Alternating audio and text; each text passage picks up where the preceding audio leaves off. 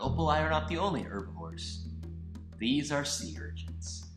Armed with formidable spines, you would think they'd be safe from just about any predator. During the day, they hide in crevices in the reef.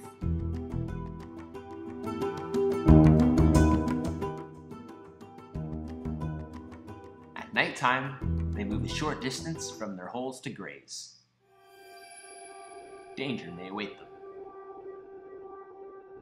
Lobsters are on the move. They comb the reef for anything remotely edible, including sea urchins. Although it may be risky to come out at night, here, a predator hunts during the day, that means certain death.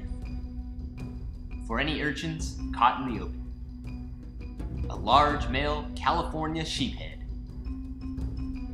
It doesn't take long for the urchin to be spotted. Despite the menacing spines, it looks like easy prey. Sheephead's teeth can easily pluck urchin spines.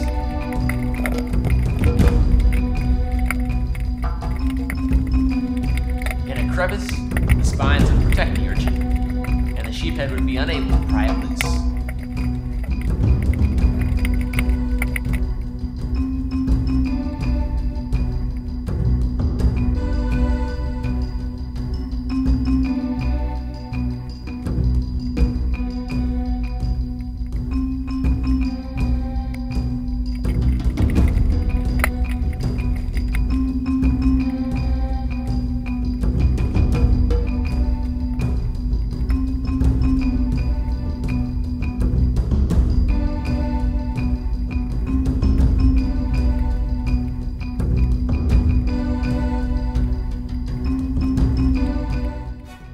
Exactly do the sheephead get past all these spines?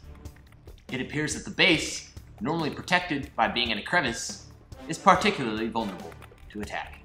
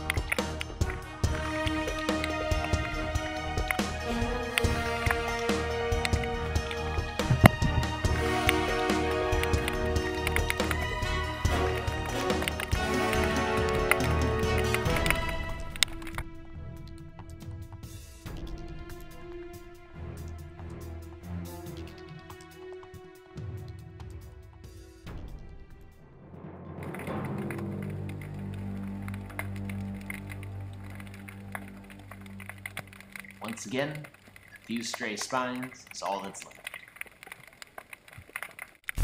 For smaller sheephead, urchins pose a bit more of a problem. Even this short spine purple sea urchin is a challenge to break open.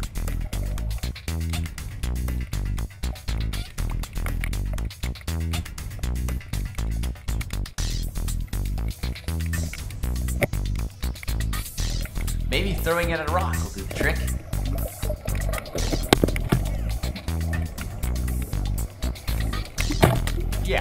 We go.